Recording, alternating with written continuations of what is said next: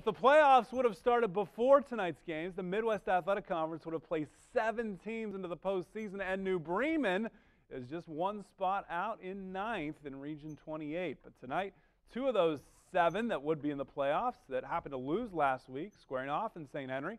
Minster making the trip down 119. Neon night, Wildcats up 7 0 early in the second. Ryan Lutmer stuffed by the Cats here. Turnover on downs. Jared Hillsman then picked off by Parker Link. He's headed down the sideline. He's done a pick six on Sportsmanville before. Doesn't quite make it there out of 20. Dalen Lange, what a season he's had.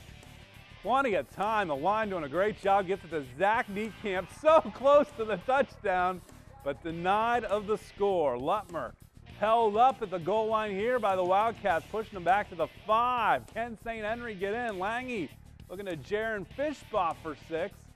Lange, plenty of time, and gets it to Fishbaugh for the touchdown. Huge score for St. Henry. Minster trying to answer back. Hillsman taking it himself. Gets a seam up the middle. Good pickup for the Wildcat. And Hillsman, another big gainer here on the play action, or on the option, I should say.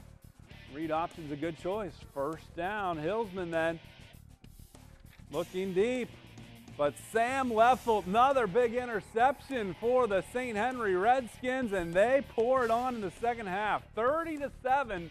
St. Henry, a great bounce back win after losing at rival Coldwater last week. Redskins looking good for the postseason and still in that MAC mix. They have Marion Local, I believe, week 10, which should be a fun one.